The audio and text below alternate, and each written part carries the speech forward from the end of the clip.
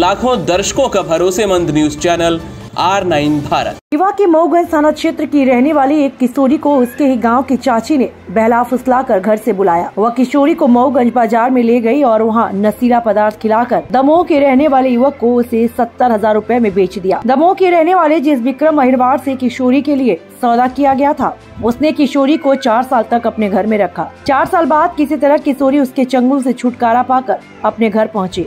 इसके बाद उसने घटना का खुलासा किया। पीड़िता की शिकायत के बाद पुलिस ने गाँव की रहने वाली उस चाची को गिरफ़्तार किया, जिसने किशोरी को बेच दिया था। पुलिस के अनुसार मऊगंज थाना क्षेत्र से चार साल पूर्व लापता हुई किशोरी की गुमशुदगी की रिपोर्ट थाने में दर्ज की गई थी। इसके बाद उसकी तलाश में पुलिस की टीम ने राजस्थान तक का सफ़र तय किया। मगर चार वर्षों तक किसी भी प्रकार से किशोरी के बारे में जानकारी नहीं मिली और अचानक एक दिन जब किशोरी आरोपियों के चंगुल से छूटकर अपने घर पहुँची तो चौंका देने वाला खुलासा हुआ। पुलिस का कहना है, अपने बयान में किशोरी ने बताया कि किस प्रकार गाँव की रहने वाली चाची सीता साकेत ने बहला फुसलाकर पहले तो उसे अपने घर ऐसी बुलाया, बाद में दमोह के रहने वाले युवक को सत्तर हज़ार रूपए में बेच दिया। मऊगंज थाना प्रभारी श्वेता मौर्य ने बताया, वर्ष 2018 में पीड़िता के परिजनों ने थाने में नाबालिग के गुम होने की रिपोर्ट दर्ज कराई थी। पुलिस ने रिपोर्ट दर्ज कर लड़की की तलाश शुरू कर दी, लेकिन उसका कोई पता नहीं लग पाया था। पुलिस ने जब अपना मुखबिर तंत्र सक्रिय किया तो लड़की का पता चल गया। पुलिस नाबालिग को ले जाकर न्यायालय के समक्ष कथन करवाया, तब मामले का खुलासा हुआ। रीवा, मध्य प्रदेश ऐसी बीजा तिवारी की खास खबर। आप अगर किसी के साथ कहीं बाहर घूमने के लिए जाते हैं या फिर किसी कार्य से जाते हैं और कुछ भी खाने के लिए बोला जाता है तो खाने से पहले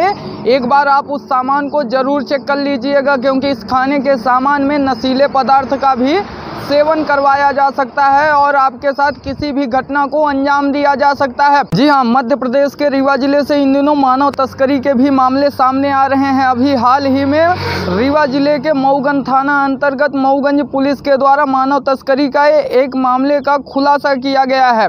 मऊगंज पुलिस के द्वारा बताया गया कि 2018 में मऊगंज थाना अंतर्गत घुरेहटा वार्ड क्रमांक 10 से एक लड़की गायब हो गई थी, जिसकी शिकायत परिजनों के द्वारा मऊगंज थाने में दर्ज करवा दी गई थी और मऊगंज पुलिस के द्वारा लड़की की तलाश शुरू कर दी गई थी। वहीं चार वर्ष के बाद अब जाकर लड़की मऊगंज पुलिस के हाथ लगी है और मऊगंज पुलिस लड़की को दस्तयाब कर ली है। वहीं दस्तयाब हुई लड़की के द्वारा बताया गया कि वर्ष 2018 में गाँव की ही रिश्ते में लगने वाली एक चाची उसकी, जिसका नाम है सीता साकेत, उसके द्वारा लड़की को बहला फुसला कर मऊगंज बाज़ार ले जाया गया और वहाँ पर उसे कई सामान दिलवाए गए और इसके बाद उसे चाट फुल्की खिलाया गया। और इसी चाट फुल्की में नशीले पदार्थ का उपयोग करवा दिया गया, जिस कारण से लड़की बेहोश हो गई। और उसकी रिश्ते में लगने वाली चाची सीता साकेत और उसका एक अन्य साथी लड़की को लेकर दमोह ज़िले में चले गए। दमोह ज़िले के गुड़ा में एक विक्रम अहिरवार नाम के व्यक्ति के हाथ में सत्तर हज़ार रुपये में आरोपियों के द्वारा लड़की को बेच दिया गया। वहीं लड़की जब होश में आई तो अपने आप को एक बंद कमरे में पाई। वहीं एक युवक भी था तो युवक से लड़की के द्वारा पूछा गया कि वह यहाँ पर कैसे आई? तब उस युवक के द्वारा बताया गया कि तुम्हारी चाची के द्वारा सत्तर हज़ार रुपये में बेच दिया गया है। लड़की घर जाने की जिद करने लगी, लेकिन उस युवक के द्वारा उसे नहीं छोड़ा गया और उसके साथ ज़बरदस्ती शारीरिक शोषण किया जाने लगा। एक साल तक लड़की विक्रम अहिरवार नाम के व्यक्ति के साथ रही और एक साल बाद जब घर में कोई नहीं था, तब लड़की मौका देखी और घर से फरार हो गई। और लड़की के द्वारा अन्य व्यक्तियों की मदद ली गई और अपने घर का पूरा पता बताया गया, तब जाकर उन लोगों के द्वारा लड़की को चार साल के बाद उसके घर वापस भेज दिया गया। और लड़की जब अब वापस आई तो लड़की के द्वारा मऊगंज थाने में पहुंचकर पूरी अब बीती बताई गई और तब जाकर मऊगंज पुलिस के द्वारा मामला दर्ज किया गया और एक महिला आरोपी को तत्काल गिरफ़्तार कर लिया गया है, जबकि एक अन्य आरोपी जो कि महिला का साथी था, वह अभी भी फरार बताया जा रहा है। वहीं मऊगंज पुलिस का कहना है कि जल्द से जल्द उस आरोपी को भी गिरफ़्तार कर लिया जाएगा।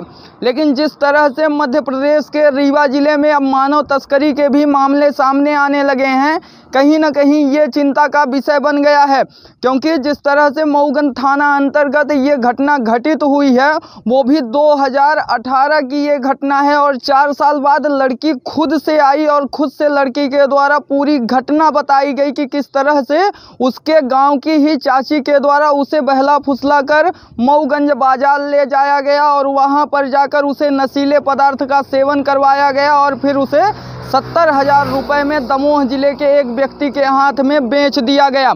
अगर लड़की वहाँ से ना भाग पाती तो अभी भी लड़की सिर्फ़ और सिर्फ़ गुमी हुई दर्शाई जाती और पुलिस के द्वारा यही बोला जाता कि अभी भी लड़की की खोज चल रही है। लेकिन लड़की के द्वारा मौका देखा गया और तब जाकर लड़की वहाँ से भाग निकली और अपनी जान बचाकर चार साल बाद वह वापस अपने घर आ पाई है। जिस तरह से रीवा ज़िले में मानव तस्करी का खेल शुरू है, ये कहीं ना कहीं चिंता का विषय बना हुआ है। क्योंकि रीवा ज़िले में अगर एक साल में देखा जाए तो रीवा ज़िले में जितने थाने हैं, इन सब में मिलाया जाए तो हर थाने में 50 से अधिक पर साल लोग गुम होते हैं, जिनमें से ज़्यादातर लड़कियाँ रहती हैं। पुलिस के द्वारा गुमशुदगी का मामला दर्ज कर लिया जाता है और यह बता दिया जाता है कि जाँच जारी है और तलाश जारी है। जल्द से जल्द पकड़ लिया जाएगा, कहीं भी रहें, खोजबीन कर ली जाएगी। लेकिन ऐसे ही ज़्यादातर मामलों में होता है कि गाँव के ही किसी व्यक्ति के द्वारा कहीं ले जाकर बेच दिया जाता है। अभी कुछ महीने पूर्व हनुमना थाना से एक लड़की गायब हुई थी, तब हनुमना पुलिस के द्वारा उसे राजस्थान से दस्तयाब किया गया था और उसमें भी यही मामला था, उसे भी बेचा गया था राजस्थान में। कहीं ना कहीं जिस तरह से मानव तस्करी का रीवा ज़िले में खेल चल रहा है, ये गलत है और इस पर भी अंकुश लगना सख्त से सख्त ज़रूरत है, क्योंकि लोग तो सिर्फ़ बहकावे में आ जाते हैं और बहकावे में आने की वजह से कुछ लोगों के साथ चले जाते हैं और साथ जाने की वजह से उन्हें नशीले पदार्थ का सेवन करवा दिया जाता है और उनके साथ ऐसी घटना को अंजाम दिया जाता है। हालाँकि देखना अब इसमें यह दिलचस्प होगा कि अभी भी जो एक आरोपी फरार है, उसे पुलिस पकड़ पाती है या फिर नहीं। इसी के साथ मैं संवाददाता विजय तिवारी, रीवा। एक मानव तस्करी का मामला सामने आया है। क्या है पूरी घटना? ये थाना मऊगंज क्षेत्र का वर्ष 2018 में फरियादिया ने रिपोर्ट की थी कि इसकी नाबालिग लड़की घर से निकली थी, जो कि शाम तक वापस नहीं आई। दो तीन दिन तलाश करने के बाद में जब नहीं मिली तो ये थाने में रिपोर्ट करने आई थी और थाने में रिपोर्ट पंजीबद्ध कर इसकी लगातार विवेचना की जा रही थी। तो लड़की का कुछ पता नहीं चला। उसके बाद में साइबर सेल की वजह से और विश्वसनीय मुखबिर सूचना तंत्र को लगाया गया, तब जानकारी मिली कि ये बिटिया है जो, मिल गई है। और मिलने के बाद में जब मैंने उसका पूरा स्टेटमेंट लिया और न्यायालय में उसके कथन कराए गए, तब उसने पूरी घटना बताई कि वो करीबन चार पाँच साल पहले शाम को घर पे अकेली थी, तब उसके ही घर की रहने वाली घर के पास में रहने वाली चाची, जिसका नाम उसने सीधा साकेत बताया था वो उसके घर आई और बोली कि मार्केट चलना है। मार्केट चलने का बोल के उसको मोगन बाज़ार लेके आई और सामान वामान खरीदने के बाद में उसको चाट खिलाई पानी खिलाई पानी पिलाई। उसके बाद में पानी पीने के बाद में उसने ये बताया कि मुझे होश नहीं रहा कि मेरे साथ में क्या हुआ। फिर जब वो उसकी आ, उसको होश आया और उसने देखा कि वो एक बंद कमरे में है और वहाँ पे एक आदमी है।